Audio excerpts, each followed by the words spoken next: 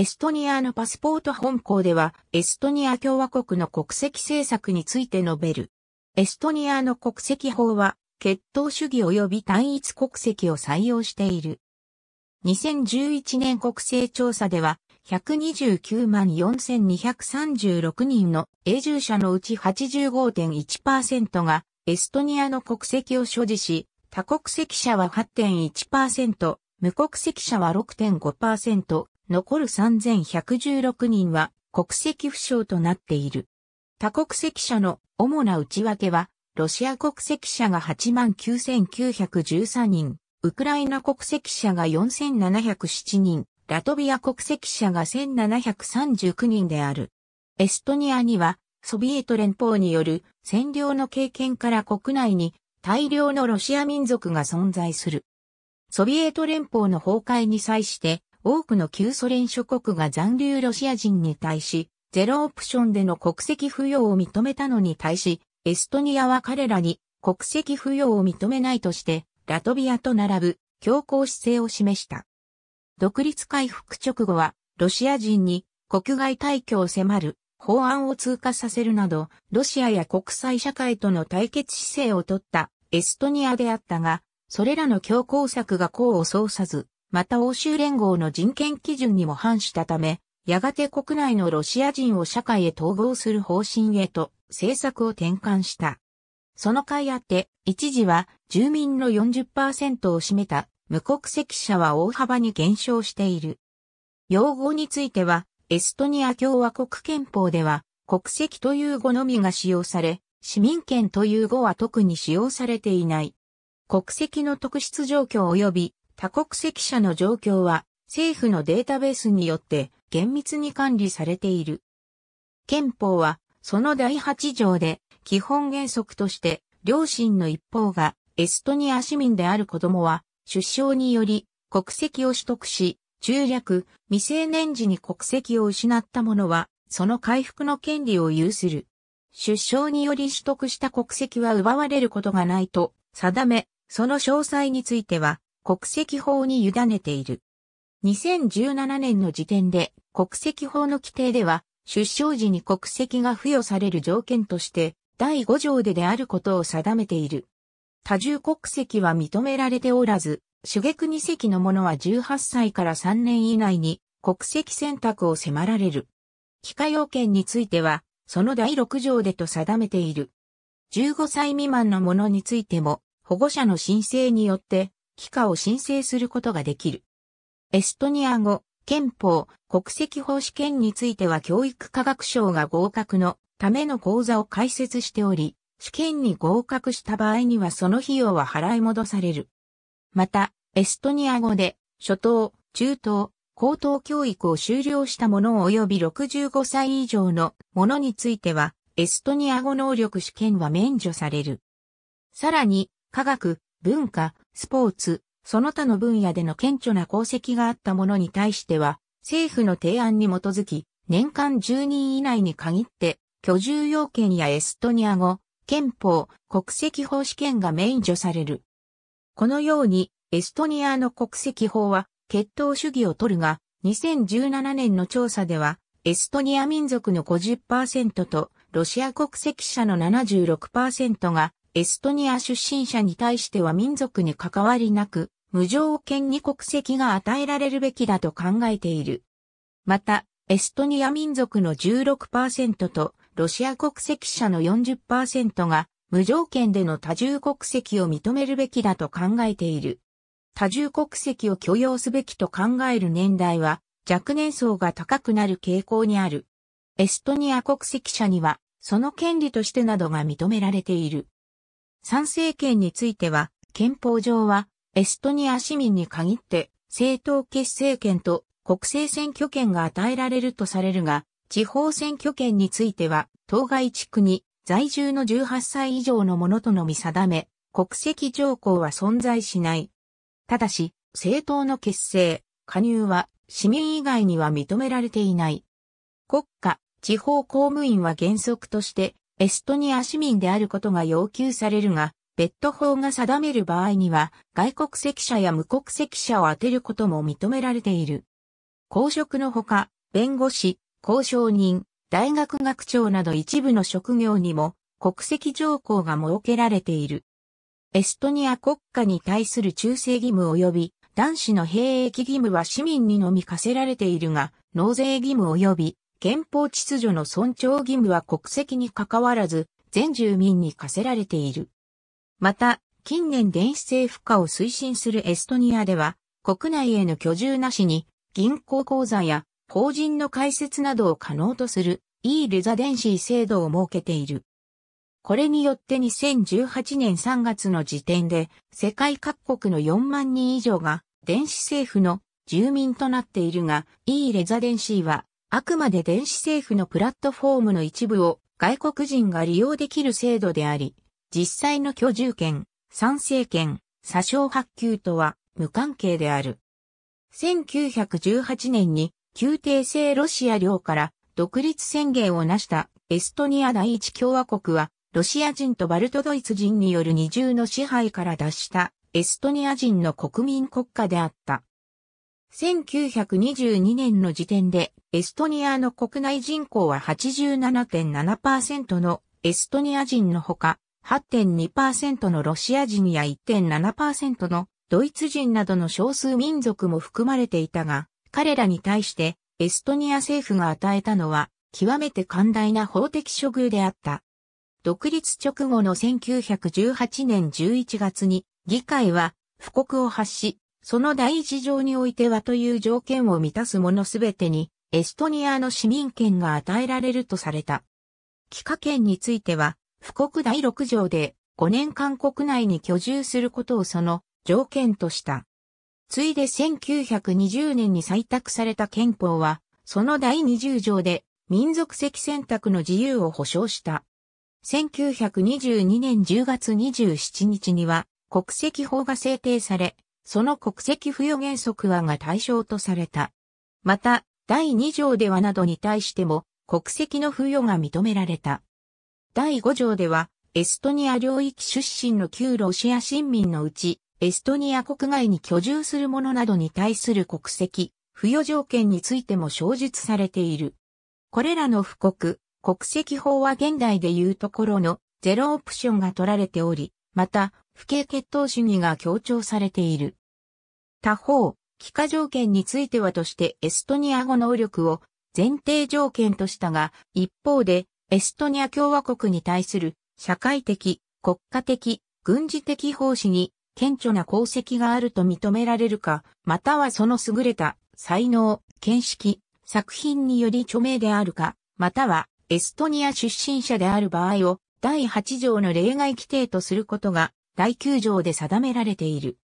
参政権については、憲法では国政選挙の投票権を市民に限定していたが、地方選挙については外国籍者や無国籍者についても投票権を認めていた。1925年には文化的自治機関の設置を認める少数民族文化自治法が制定されたが、エストニア市民であることはこの権利を行使する要件ともなっている。1938年国籍法その後、1930年代半ばには、コンスタンティン・パッツによる権威主義体制が確立され、1938年には新たな国籍法が制定された。新国籍法は、帰化条件などについては旧法を踏襲しつつ、その第23条では新たに他国の軍事機関に奉仕し、または所属する者の国籍剥奪規定が定められた。参政権についても、同年の新憲法では、地方選挙権を選挙資格を与えられた市民に限定し、国政選挙権も1922年憲法の20歳以上で1年間国籍を有していたものから22歳以上で3年間国籍を有していたものへと厳格化した。公務員に関しても国及び地方の公職は中略、所定の能力を有する市民から選任される。外国人は法の定める条件によってのみ選任されるとして、非市民の行政参画に制限を加えている。ロシア化と反動1989年のエストニア在住者の民族別割合エストニア人、ロシア人、ウクライナ人、ベラルーシ人フィンランド人その他しかし、1940年には、バルト諸国占領によってエストニアは、ソビエト連邦へ並行され、その後独ソ戦を経て、エストニアソビエト社会主義共和国に対するソ連支配は確立した。体制に反抗した多数のエストニア人が流刑などの犠牲となり、また多数のエストニア人が国外へ亡命した。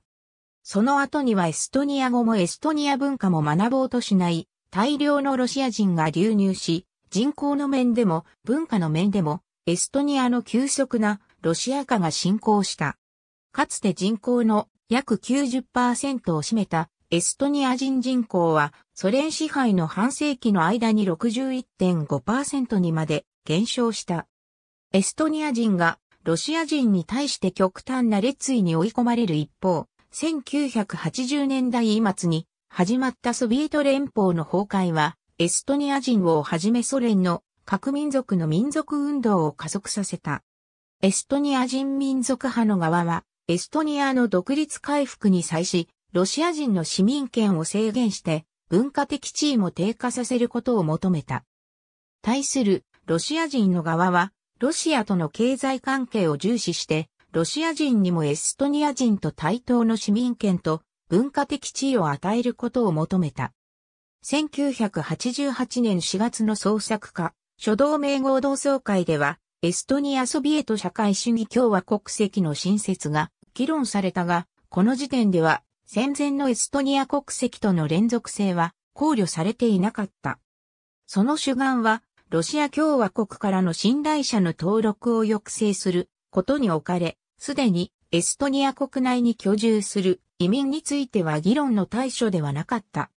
1990年3月の最高会議選挙に新勝した人民戦線は5月の第2回大会において国籍問題について国際的に認められている解決策を取ると明言した。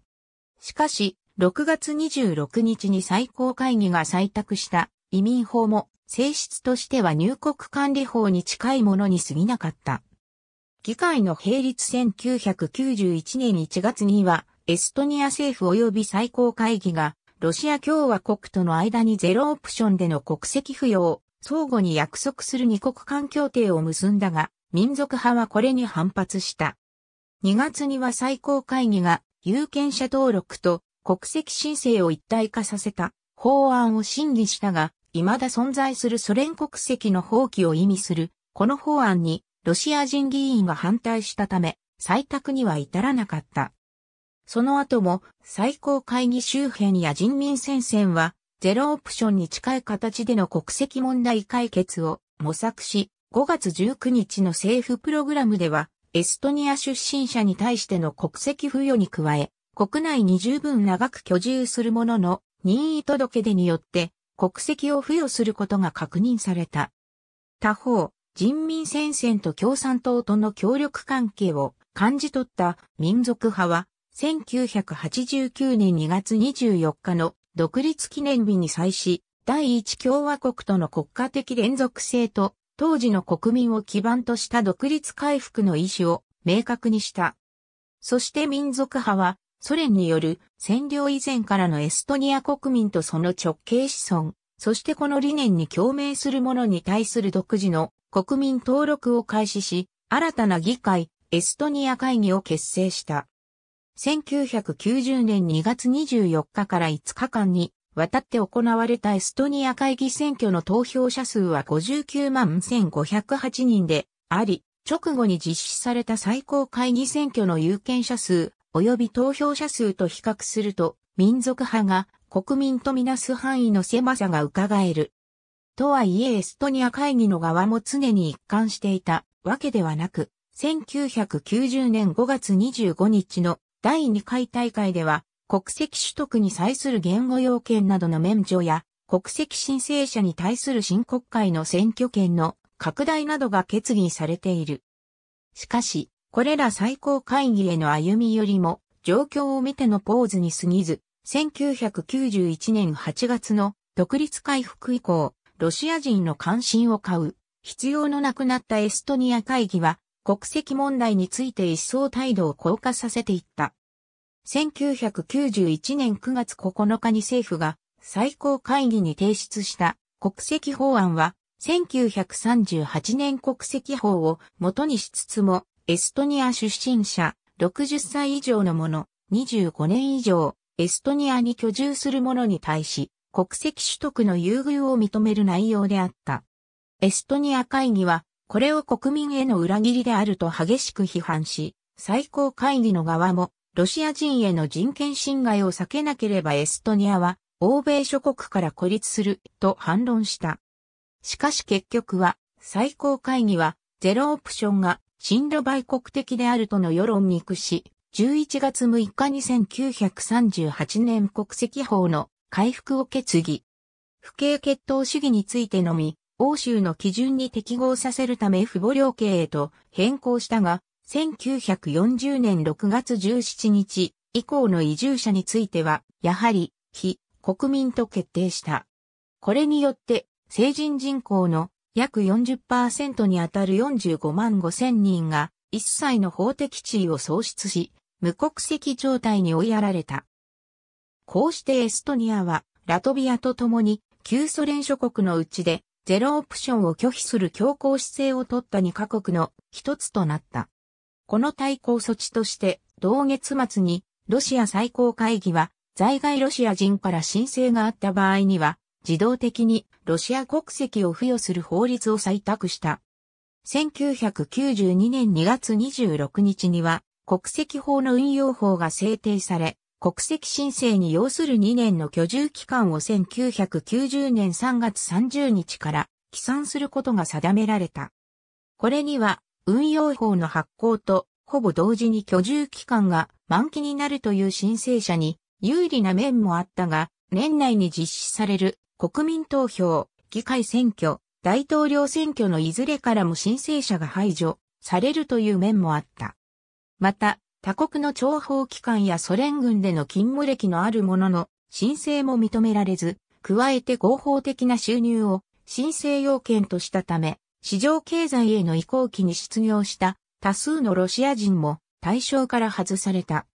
国会議員からもロシア人は一掃され、人口の3割が参政権を持たない状況が生まれるに至って国内のロシア人はロシア人代表者会議を結成して抵抗した。ロシア最高会議も7月17日に在エストニアロシア人に対する人権侵害の非難決議を行い、エストニアに対する一時的経済制裁をロシア連邦政府に要請した。同月にはエストニアも加盟する全欧安全保障協力会議が少数民族問題高等弁務官の設置を決議したため、9月にエストニア政府は国籍法と言語法に関する CSCE の調査団を受け入れると表明した。CSCE 調査団は12月からの調査の結果、エストニアの立法に欧州の人権基準から見て大きな逸脱はないと結論し、ロシア側による人権侵害の訴えを退けた。1993年2月7日には国連総会決議47、115、エストニアとラトビアにおける人権の状態に基づく国連調査団もエストニアに入ったが、10月26日に調査報告書はエストニア社会には1940年以前に時計を戻そうとする願望が見られるものの、民族や宗教を理由にした差別は何ら見当たらなかったと結論した。一方のロシア最高会議人権委員会は、エストニア永住者の38%もが外国人、無国籍者とされる状況は、世界人権宣言第6条、第15条及び自由権規約、第2条、第25条、第26条に違反すると非難した。4月4日にボリス・エリチン大統領はエストニアとラトビアが少数民族の迫害をやめない限り、ロシア連邦軍の両国からの撤退は延期されると声明した。ロシアの武力による威圧に対し、6月16日にエストニア議会はエストニア語の読み書き能力を機械要件とする国籍志願者に対するエストニア語の要請に関する法律を採択し、さらなる強硬姿勢で対抗した。同月21日には実質的にロシア人に国外退去を迫る外国民法が可決され、この状況を危険視する CSCE、HCNM、欧州評議会やヘルシンキウォッチなどの国際調査団がエストニアへ入った。国際調査団の勧告にあって、レンナルト・メリ大統領は外国民法を議会へ差し戻し、外国民法には CSCE や欧州評議会の要求をほぼ全面的に受け入れた修正が加えられた。また、許可要件とされるエストニア語能力についても約1500語程度の日常会話能力で十分との緩和がなされた。メリも、また、国家に対する貢献者への国籍付与を認める憲法の条項を利用し、穏健派のロシア人政治家やジャーナリストに対し、国籍を付与する怪獣策を取った。結果、その後の両国政府の合意によって、1994年8月にロシア軍はエストニアからの撤退を完了した。CSCE の後ろ身である欧州安全保障協力機構の在タリン代表部によれば、エストニア再独立から1995年3月までの間に1938年国籍法に基づいて帰化した人数は84,252人である。その内訳はとなっている。その後、1995年の国籍法改定によって国籍取得のための居住要件は2プラス1年から5プラス1年に延長された。ロシア系政治家やロシア政府は、この延長をロシア人の国籍取得を妨げるものと批判したが、実際には大半のロシア人がこの要件を満たしていた。むしろこの改定の主眼は居住要件を他の欧州諸国と横並びにすることであった。他方、この改定では民族エストニア人に対しても新たにエストニア語の能力試験が課されることとなった。これら言語的にロシア化した民族エストニア人に対する措置にあるように、エストニアのネーション意識は民族単位から言語単位へと比重を移しつつあった。他方、この言語能力試験は、ロシア人にとっても難易度が高く、同時期の調査では、ロシア人の57%が、帰化を申請しない理由に試験への落第を挙げている。また、可能ならば帰化したいと考える者が7割、子供を帰化させたいと考える者が8割に達する。一方で、政府は不法滞在者のうち2万4千人と、ロシア国籍者の2万5千人に対しても、社会保障を支給していたため、これもロシア人の帰化努力を阻害したとされる。また、1995年11月2日に、国連自由権規約人権委員会が決定した所見においても、エストニア語能力を帰化要件とする点や、旧体制においていった先生が自動的に行政職への採用拒否事項となる点が憂慮されていた。そして、行政職にロシア人、ロシア語話者が採用され、憎く、ロシア人がエストニアで差別なく公的サービスを受けることができない現実が指摘された。また、同委員会は1993年に復活した少数民族文化自治法の適用制限の厳しさや長期永住者に対する結社の自由の制限について指摘し、自由権規約第27条に基づくエストニア国内法の修正を強く勧告した。当初、ロシア人の国外退去を起として制定された国籍法と外国人法であったが、彼らの多くは失業により合法的収入の要件を満たすことができなかったため、それらの法は不法滞在者を増やすだけの結果に終わった。ザイタリン OSCE 代表部によれば、1995年4月から1997年1月までの間に、1995年国籍法に基づいて帰化した人数は4282人。そのほとんどがエストニア人を親として出生した子供、または孤児であった。1992年から2010年までのエストニアへの帰化者、数1992年から2011年までのエストニア在住者の民族、国籍の割合変化ロシア民族ロシア民族、ロシア民族エストニア民族ヒロシア系少数民族、エストニアは1995年11月に欧州連合へ加盟申請を行い、1997年12月には、ルクセンブルク欧州理事会での加盟交渉開始決定候補国入りを果たした。しかし、同時にロシア系無国籍者の社会統合促進を目的とした国籍取得加速化のための方策の必要性が指摘され、これに対しエストニアは12月9日の国籍法改定案承認をもって答えた。この国籍法緩和が外圧によるものであることは、当時の人口、民族問題担当省も認めている。しかし、同様の問題を抱えるラトビアが国際社会からの圧力を黙殺したのとは、対照的に、エストニアでは、祖国連合以外のほとんどの賛成によって、1998年12月には改定国籍法が成立した。1998年国籍法では、親が国内に5年以上居住する無国籍者であり、1992年2月26日以降に国内で出生した15歳以下の子供に対し、親権者の届け出によって国籍付与が認められるようになった。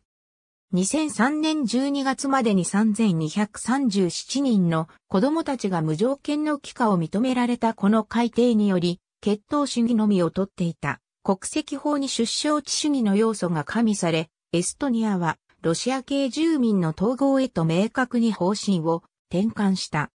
また、この法改定によってエストニア語能力試験を免除された国民の増加が確実となったため、同時期の言語法改定により、エストニア語の優位性の確保が図られた。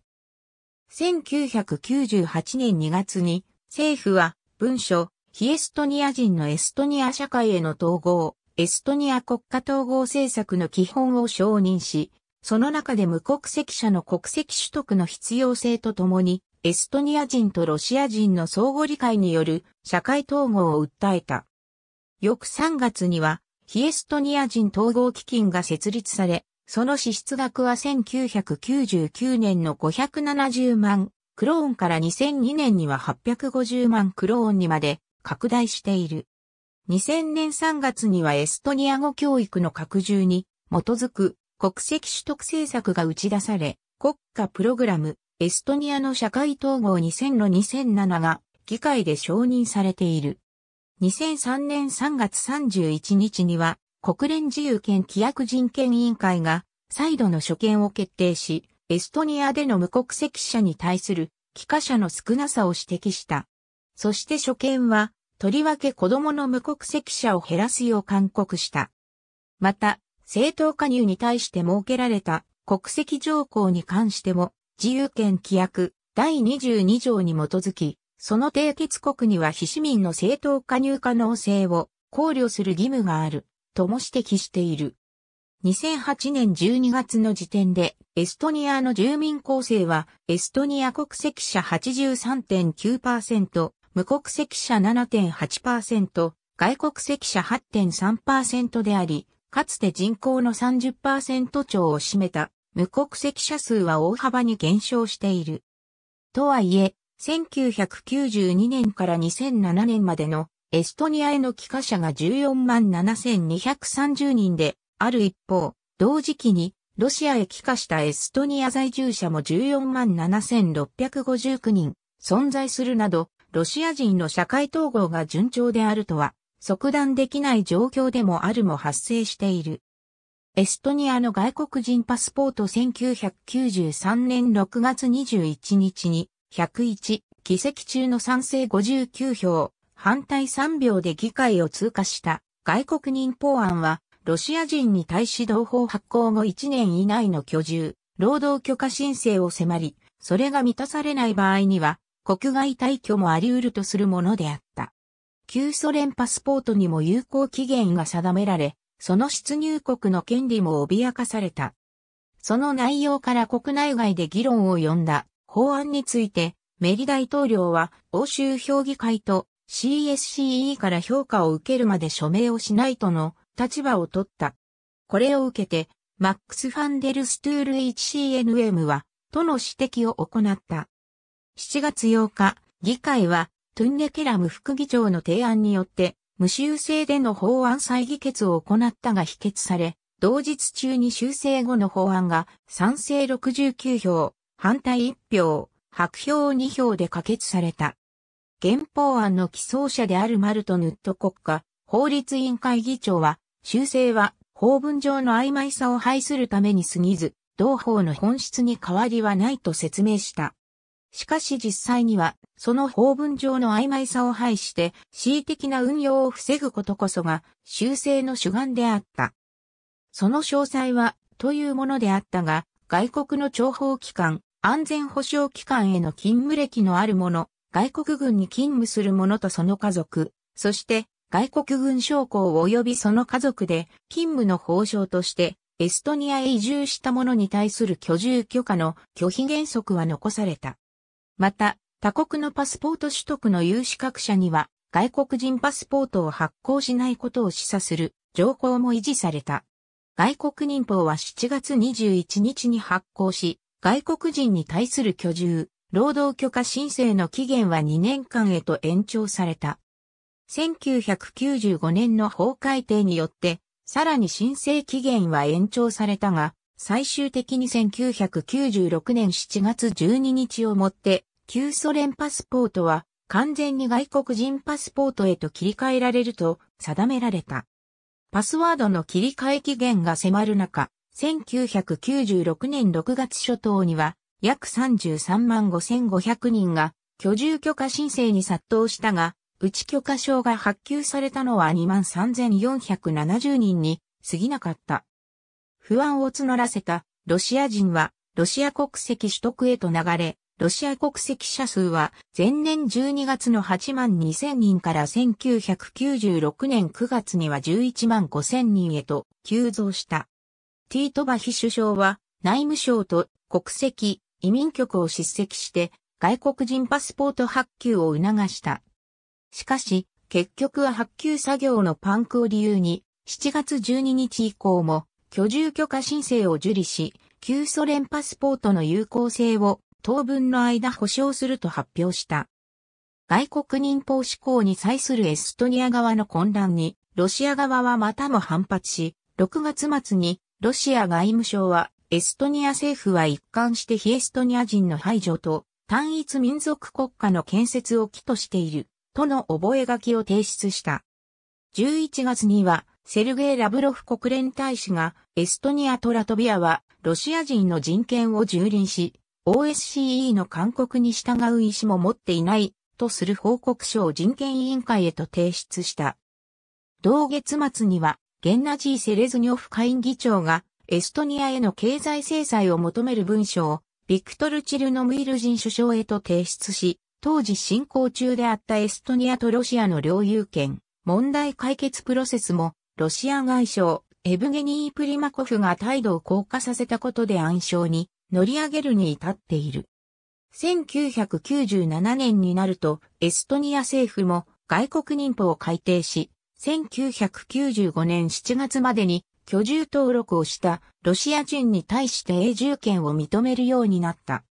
同年の法改定では、それまで年間の居住許可発行数はエストニア国籍保有者の0.1%であったところ EU 加盟国、ノルウェーアイスランドスイス、日本を適用除外とする代わりに0.05%とする引き下げも行われた。1999年にも法改定が行われ、1990年7月以前からの定住者に対し再度の居住許可登録が呼びかけられた。ため、不法滞在者数は約5000から1万人にまで減少した。以前は永住者の親族であっても年間割り当てを超えて居住許可を受けることはできなかったが、2000年4月の法改定によって12週以上の妊婦や18歳以下の共通の子供については割り当てを超えて居住許可が下りるようになった。さらに2002年6月の再改定によって配偶者と近親者には割り当てに関わらず居住許可が下りるようになっている。2008年の法改定では、エストニア国籍保有者に対する外国人の居住許可発行数は再び0.1%に戻されている。外国民法により外国人に対しても土地の購入権が新たに認められるようになったが、国境付近の土地についてはその例外とされている。また、教育、社会保障に関しては、別途定めのない限り外国人もエストニア市民と同等の扱いを受けることができる。同法に基づき発給されていた外国人パスポートは無国籍者がロシア以外の他国に出入りする権利を保障し、イードカード導入以前は身分証としても機能した。外国人パスポート保有者にはエストニア市民であれば受けられる国外での保護扶助は保障されないとされているが、実際にはエストニア外務省と在外交換は外国人パスポート保有者に対する保護扶助も行っている。また、外国人パスポート保有者はロシアへの無差別渡航が認められている。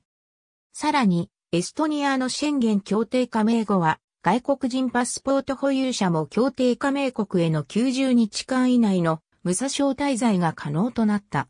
ありがとうございます。